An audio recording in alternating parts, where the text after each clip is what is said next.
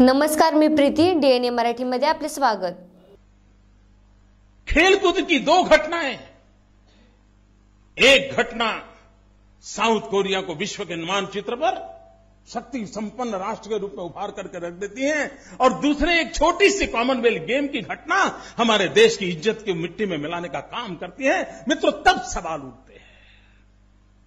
चिंता तब होती है क्या हम देश को इस दिशा में ले जाना चाहते हैं?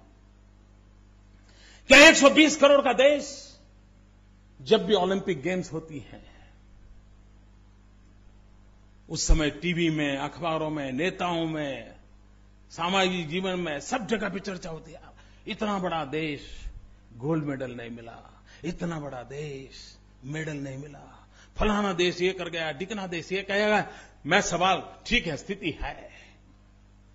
लेकिन क्या कभी इस देश की शिक्षा व्यवस्था को हमने इसके साथ जोड़ा? हमारी युवा पीढ़ी को हमने अवसर दिया। और क्या मित्रों 120 करोड़ के देश में नहीं मिल सकता अरे सिर्फ़ सेना के जवानों को एक काम दिया जाए कि जो न्यूली रिक्रूटेड सेना के जवान हैं, उसमें से मैपिंग किया जाए स्पोर्ट्स में रुचि वाले हैं, उनको एक अलग जगह पर रखा जाए और उनको ही ट्रेनिंग देने का काम शुरू कर दीजिए। मैं बताता हूँ, मित्रों, पाँच, सात, दस तो मेडल ये हमारे सेना के जवान लेकर के आ सकते हैं। डी एन ए मराठीच्या बातम्या पाहण्यासाठी आणि अपडेट राहण्यासाठी आमचा channel D N A Marathi like करा आणि सबस्क्राईब करा. आपण बदला जग बदलेल. धन्यवाद.